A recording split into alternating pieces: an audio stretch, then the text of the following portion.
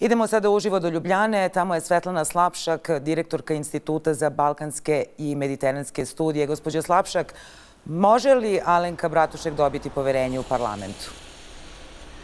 Po svemu sudeći dobit će ga. Kako sada stoje glasovi i kako teče diskusija, poslanici još govore, očekuje se odluka negde kasnije večeras. Po vašem mišljenju... Zatim ona ima... Da, izvolite. Ona zatim ima 14 dana vremena da sastavi da predloži novu vladu. A po vašem mišljenju, kako e, će se Janša ponašati ako padne vlada? Ponašat će se onako kako se i do sad ponašao. Izliće što je mogućno više otrova na svoje realne ili zamišljene neprijatelje. Pokušat će da ovu vladu, vladu u nastajanju, što je moguće više sprečava i sasvim sigurno će se pobrinuti da nam tih 14 dana ne bude dosadno. A recite nam kako trenutno teče rasprava u parlamentu? Kakva je atmosfera?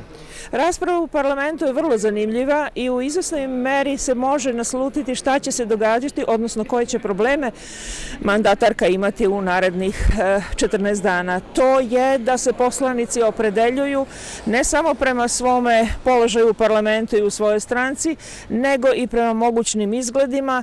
Očigledno se postavljaju već nove mreže interesa, eh, mnogi se kompromituju, mnogi se nude. E, zanimljiva je situacija, vrlo su značajne te diskusije zato što nam daju jasan uvid u to šta će se događati. Bojimo se, e, mi koji smo izvan građani, da će zapravo osnovni impuls pobuna u Sloveniji i osnovna namera pobuna u Sloveniji da dođe do radikalne promene u političkoj mislenosti, da će do toga doći u manje meri. Da li to znači da predstoji buran politički život Slovenije u predstojećem periodu? Sasvim izvesno, ja ne mogu sa sigurnošću da kažem da li će protesti prestati ili ne. To je stvar odluka različiti grupa, njih je u ovome trenutku preko 100, ali je sasvim izvesno jedno da od parlamenta očekujemo neuporedivo više. E, na kraju krajeva u parlamentu je danas sedela mala grupa koja je istakla naziv Hoćemo prevremene izbore, posle čega su izbačeni iz parlamenta.